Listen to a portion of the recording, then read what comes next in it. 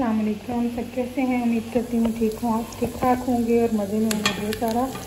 और जी, ये हो रही है यहाँ खाने की तैयारी। मैंने प्याज गोल्डन होने के लिए रख दिया है। और जल्दी जल्दी से मैं ये सारे काम करी, क्योंकि मुझे आ जाना है मॉल, और मुझे लेने हैं कपड़े बच्चों के। यहाँ मैंने टमाटर आधे काट लिए और आधे काटने वाली हूँ। ग्रीन चिली भी कट करके रख ली है। मुझे जल्दी पड़ी हुई कि जल्दी जल्दी कुकिंग हो और मैं उसके बाद ही जाऊँ शॉपिंग पे। इसलिए मुझे हो रहा है कि जल्दी से गोल्डन क्यों नहीं हो रहे? अपने टाइम पे ही गोल्डन होंगे। और यहाँ काफ़ी हद तक हो गए हैं गोल्डन प्याज। और अब मैं इसमें ऐड कर दूँगी कटे हुए टमाटर और ग्रीन चिली मैं बना रही हूँ टिंडे और अभी तक मैंने टिंडे काटे कोई नहीं। मैंने कहा मसाले को बुनाई में टाइम लगेगा। तब तक मैं वो कर लूँगी। और टिंडे काट लूँगी। जब तक ये थोड़े से सॉफ्ट होते हैं टमाटर और प्याज, मैं तब तक निकालती होंगी। टिंडे फ्रिज से? और टिंडे निकाल के पहले काट लेते हैं। फंस गए। और ये निकल गए टिंडे, और अब हम कुत्ते हैं, काटते हैं जी। एक लंबा प्रोसेस लगता है, मुझे सब्ज़ी काटना। मुझे सब्ज़ी बनाना मुश्किल नहीं लगता, पकाना आई मीन काटना बहुत मुश्किल लगता है। कोई काट के दे दो, फटाफट मैं पका दूँ। ऐसा हो नहीं सकता। चलें जी, काटते हैं फिर सब्ज़ी। और जी, यहाँ हो चुका है मसाला काफ़ी नरम, प्याज और टमाटर। साथ में अब डालने लगी हूँ नमक, मिर्च, हल्दी पिसा धनिया, ताकि मसाला भुन जाए। और दूसरी तरफ़ ये मेरे साथ हुआ है। वैसे तो मैं सब्ज़ी बहुत कम लेकर आती हूँ बट जितनी कम लेकर आई थी उसमें से भी ये सारी ये सारे टिंडे ख़राब निकले। और जो हालत है इसका इसको टिंडे की सब्ज़ी कहने को तो दिल नहीं कर रहा। सिर्फ़ टमाटर प्याज कहना ठीक होगा कि टमाटर प्याज थोड़ी सी दरमियान में सब्ज़ी ऐड हो रही है।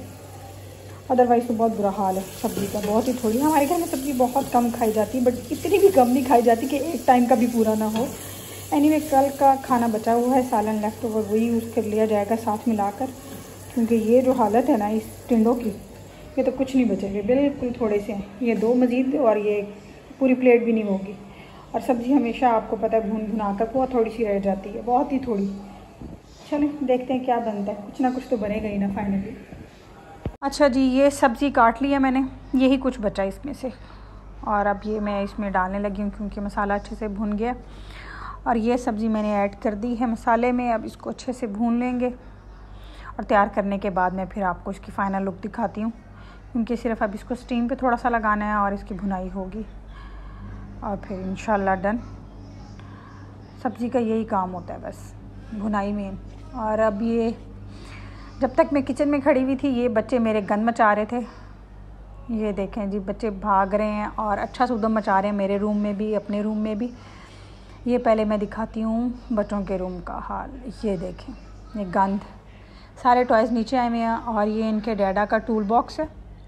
टूल बॉक्स में से सारे टूल्स निकाल कर ये लोग ख़राब कर रहे थे और ये सारे टॉयज़ भी नीचे आए हुए हैं। और दूसरी तरफ़ ये भाग कर मेरे रूम को भी गंदा करें हर तरफ़ गंद फैलाते हैं। जब मैं किचन में खड़ी हो जाऊँ, उनको पता होता है, मम्मा, आप बिज़ी हैं तो चलो जी, सारे टॉयज़ सब जगह से जो चीज़ें मिल रही हैं, सब निकालो बाहर और घर में गंद अच्छा सा फैलाओ। खैर ये तो बच्चों का चलता रहता है। दूसरी तरफ़ मैं अब रेडी कर रही हूँ। अपने सालन को कि जल्दी से रेडी हो जाए। और ऑलमोस्ट इसकी भुनाई चल रही है। अब इन जल्दी से पक जाएगा। गलने में थोड़ा सा टाइम लेगा। क्योंकि काफ़ी ख़राब निकले थे टिंडे। इसलिए इसको अब थोड़ा सा टाइम लगेगा। बट इन जल्दी गल जाएगा। ये इसकी फ़ाइनल लुक है। ये भून लिया था मैंने। ये फुल, बड़े मज़ेदार सी टिंडों की भुजिया बनी थी, बड़ा मज़ा आया था। और यहाँ हम जा रहे हैं जी मॉल। हुजैफ़ा रहेगा घर। हुजैफ़ा हमें बाय बाय करने के लिए आया हुआ है और मैं यहाँ पे अपनी चप्पल ढूंढ रही हूँ। एक पाँव उसका नहीं मिल रहा था। मिल गया और अब हम चलते हैं नीचे। नीचे हस्बैंड गाड़ी में हैं। वो वेट कर रहे हैं काफ़ी देर से कि तुम नीचे आ जाओ।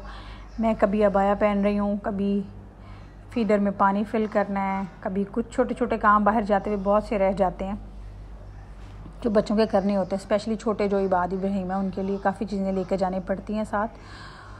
तो वो रेडी करी थी। अब ये निकल आई हूँ फाइनली मैं घर से बाहर और अब बैठ गई हूँ मैं गाड़ी में। अब हमें रास्ते में एक दो काम है छोटे छोटे फिर मैं आपको वहाँ जाके बताती हूँ। और ये हम आ गए हैं जी रास्ते में जो काम था, एक तो लॉन्ड्री का काम था इंपॉर्टेंट। मेरे हस्बैंड गए हुए थे। हम यहाँ वेट करें और हम बड़े बेचैन हैं कि मॉल पहुँचे। ये शॉप है लॉन्ड्री वाली। ये शायद थोड़ी सी नज़र आ रही है। गाड़ियों की वजह से ये नहीं नज़र आ रही। अंदर गए हुए हैं। और हम लोग यहाँ बच्चे सब वेट कर कर के बोर हो रहे हैं कि बस जल्दी से पहुँचें। मॉल क्योंकि बारह बजे का टाइम होता है। फिर उसके बाद मॉल बंद हो जाते हैं और मुझे शॉपिंग भी करनी है और साथ में थोड़ी सी ग्रॉसरी भी करनी है। ज़्यादा तो शौक़ मुझे शॉपिंग का है। ग्रॉसरी तो बस साथ में करनी पड़ गई है और ये हम पहुँच गए हैं जी मॉल ये मेरा फेवरेट मॉल है। और यहाँ पे सबसे बड़ी ख़राबी ये है कि यहाँ पे पार्किंग नहीं मिलती। पार्किंग ढूंढते रहो ढूंढते रहो ढूंढते रहो। अचानक से आज हमें एक्सीडेंटली बड़ी जल्दी माशाल्लाह पार्किंग मिल गई है। और अब हम कर रहे हैं गाड़ी पार्क। और ये हम अब उतर गए हैं। अब ये जाम की एक्साइटमेंट शुरू हो गई है। जाम का घर से आने का कोई मूड नहीं था क्योंकि इसमें ऑयलिंग की हुई थी। बट जब हम लोग उतरने लगे तो मैंने मम्मा जाना साथ फिर हमने कहा कि से रेडी हो गए। फिर हम भी खोले आए हम जा रहे हैं जी अंदर। अंदर सबसे पहले टेस्ट चेक करते हैं कि आप लोगों ने करवाया मेरे बच्चों के फटाफट